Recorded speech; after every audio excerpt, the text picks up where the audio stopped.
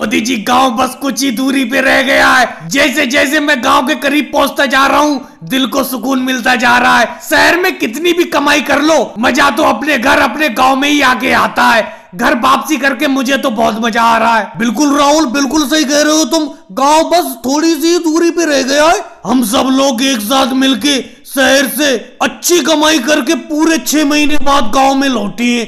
गाँव की वापसी करके बहुत मज़ा आ रहा है। लेकिन मोदी जी, एक बात मैं आपसे कहूँ, मैं तो आप गाँव में ही रहूँगा। यहीं पे खेती बाड़ी करूँगा, शहर में कमाने के लिए बिल्कुल नहीं जाऊँगा। यहीं पे गाँव में रहने का मज़ा ही निराला है। पूरे छह महीने शहर में काम करते रहे, लेकिन गाँव की याद आती रही। अब जैसी गाँव में पहुँचने वाले हैं, दिल को एक सुकून सा मिलता जा रहा है। योगी जी, अगर तुम यहाँ पे खेती बाड़ी करोगे रह के तो मैं भी अब शहर नहीं जाऊँगा। यही गाँव में ही एक, चार, पाँच भैंसे खरीद के दूध बेचने का काम शुरू करूँगा। लेकिन मोदी जी, एक बात बताऊँ, मुझे तो वापस शहर ही जाना पड़ेगा, क्योंकि न मेरे पास योगी जी की तरह दो चार बीघा ज़मीन है, ना ही आपके तरह मेरे पास ज़्यादा पैसे हैं, जिससे मैं भैंस खरीद के दूध का धंधा शुरू कर दूँ। मैं तो जो शहर से छह महीने में कमा के लाया हूँ, गाँव में उस पैसे को दो महीने में खा जाऊँगा, उसके बाद फिर से शहर जाना पड़ेगा। लेकिन फिर भी कुछ भी कहो, घर वापसी करके बहुत ही अच्छा लग रहा है। अखिलेश, तुम भी बेफालतू की बात करती हो। अभी तो तुम शहर से पैसा कमा के लौटे हो। अभी तो तुम्हारे पास पैसे हैं।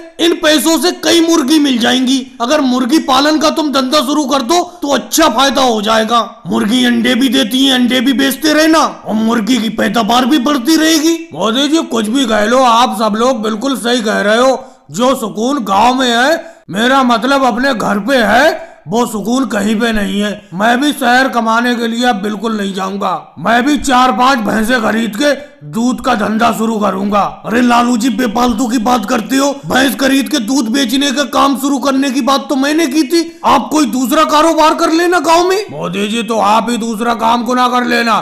मुझे तो भैंसी पालन अच्छा लगता है। भैंस पालन करके गाँव में दूध बेच के पैसा कमाऊँगा। और भाई लोगों को वीडियो को लाइक करो चैनल को सब्सक्राइब करो।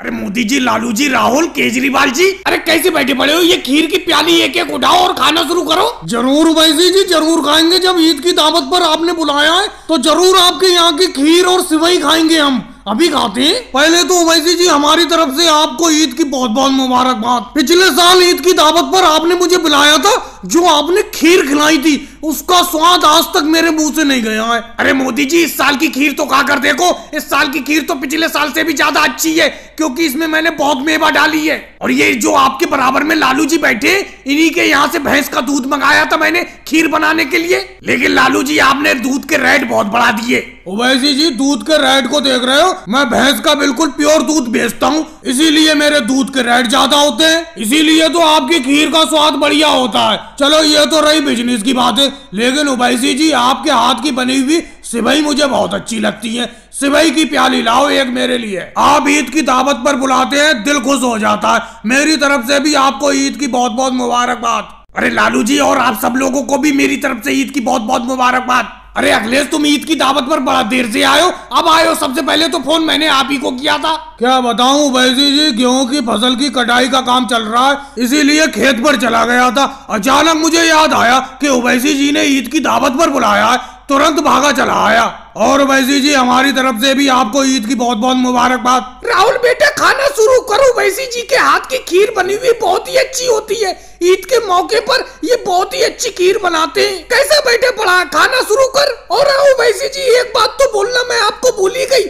ईद की मेरी तरफ़ से भी आपको बहुत बहुत मुबारकबाद। अरे सोनिया जी मेरी तरफ़ से भी आपको बहुत बहुत मुबारकबाद। और राहुल सोनिया जी बिल्कुल सही तो कह रही है। ये खीर खाना शुरू करो। जब तुम सब लोग खीर खा लोगे उसके बाद मैं सिमई खिलाऊँगा। ये देखो मेरे हाथ में सिमई है वैसे वैसे जी आप हमें ईद की दावत पर बुलाते हैं हमारा दिल खुश हो जाता है। और राहुल मोदी जी तुम सब लोग मुझे होली और दिवाली की दावत पर बुलाते हो तो मेरा दिल भी तो खुशी से झूम उठता है। इंसानियत से बढ़कर कोई चीज़ नहीं होती है अपना सब लोगों को इसी तरीके से मिलजुल कर रहना चाहिए। एक दूसरे की खुशी और दुख में शामिल होना चाहिए यही तो इंसानियत है। मेरी तरफ़ से भी उबैसी जी आपको ईद की बहुत बहुत मुबारकबाद। और भाई लोगों वीडियो को लाइक करो चैनल को सब्सक्राइब करो। अरे लो मोदी जी, लो, जम के खाओ, जम के खाओ। दिवाली की दावत करने में थोड़ा लेट हो गया, लेकिन खाओ तुम जम के। अपने हाथ से मैंने रसीले गोभी आलू पकाए हैं। लाओ मोदी जी, पत्तल थोड़ा आगे को करो, नहीं तो गिर जाएँगे। अरे मम्मी, तुम्हें भी दे दूँ क्या? लाओ। तुम भी पत्तल आगे करो। खाली पूरी पूरी खा रही हो, तुम भी बता नहीं रही हो। कम से कम घर आइए अपना, घर में तो बोल जाया करो।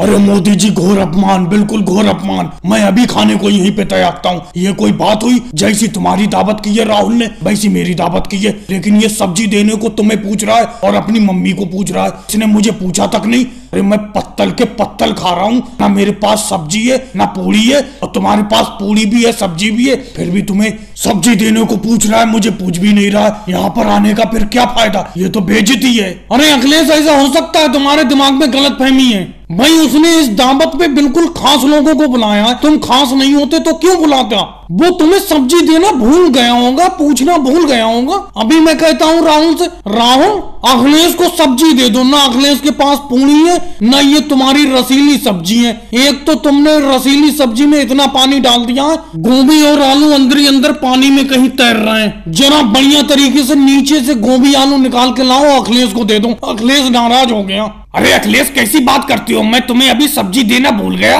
अरे, ये तुम्हारा घर है, घर में भी कोई नाराज़ होता है। तुम उठ के जा रहे थे, अभी मोदी जी बता रहे हैं। लो इधर लाओ नीचे से रसीली सब्ज़ी में से मैं तुम्हें गोभी और आलू छांट के देता हूँ। तेरा भी राहुल ध्यान कहाँ रहने लगा है? बिल्कुल भी ध्यान नहीं देता। अरे यहाँ पर दावत पे अगर बुलाया है तो सबको बराबर ध्यान रख। तू मोदी जी पे ज़्यादा ध्यान दे रहा है। अखिलेश से क्षमा मांग। अरे अखिलेश मैं अपनी इस गलती के लिए क्षमा प्रार्थी हूँ। ना मैंने तुम्हें पूरी दी ना सब्ज़ी दी। आगे लाओ पत्तल। लो ये गोभी आलू लो। अरे मेरा थोड़ा सा ध्यान नहीं गया तुम्हारी तरफ़। तुम तो पत्तल तोड़ के खाने लगे। ये कोई बात हुई? भाई अखिलेश हमारी इस गलती की चार जगह बुराई मत कर देना। भाई लोगों वीडियो को लाइक कर दो चैनल को सब्सक्राइब कर दो। अरे राहुल मैंने तुमसे कितनी बार कहा है कि कोई दूसरा काम देख लो दूसरा काम देख लो। अरे ईटे धोते ढोते मेरी गर्दन बैठी जा रही है। तुम तो ईटे ढो लेते हो। अरे मैं बूढ़ा हो गया हूँ, मैं किस तरीके से ढूंढ ईटे? ये बताओ, कोई दूसरा काम देख लो जो हल्की मेहनत हो। बहुत मेहनत पड़ रही है ये काम करने में मुझे। अरे मोदी जी, तुम्हें कोई काम समझ में आता है? अमित शाह जी कह रहे थे काम करवाने को, खेत पे काम करवाते वो, खेत जोतवाते तो खेत जोतने में कौन सी बुराई थी? अरे खेत तो बैल जोतता, तुम्हें सिर्फ़ हल चलाना था, लेकिन तुमने वो भी काम करने से मना कर दिया। वो काम नहीं करोगे तो ये मेहनत का काम तो करना ही पड़ेगा। अरे राहुल, मैं तुझसे कह रहा हूँ, मेरे लिए बात करके देखना। अमित शाह जी से। ये मोदी जी, हल चलाए ना चलाए, मैं हल चला लूँगा। मैं ये ईटे नहीं ढोऊँगा अरे मेरी गर्दन दो इंच नीचे बैठ गई। समझे काम करते करते? ये ईटे ढोटे ढोटे, मैं ईटे नहीं ढोऊँगा अब। अरे लड़ो मत लड़ो मत मोदी योगी जी और राहुल, लड़ो मत। समझे? अरे क्या करा जाए? बेरोजगारी में काम करना ही पड़ता है। जब कोई काम और नहीं मिल रहा है तो ईटे तो ढोना ही पड़ेंगी सिर पे। क्या किया जाए? अरे तुम सबसे ज़्यादा तो मेरी गर्दन बैठी जा रही है, ईटे ढोटे ढोटे अरे मोदी जी, तुम बूढ़े ज़रूर हो। लेकिन हमसे आज भी बहुत मज़बूत हो तुम। अरे तुम आज भी बहुत मज़बूत हो। हम जवान होकर भी इतनी मेहनत नहीं कर पाते हैं, जितनी तुम मेहनत कर लेते हो। क्या करा जाए? बेरोजगारी में यही काम करना पड़ेगा।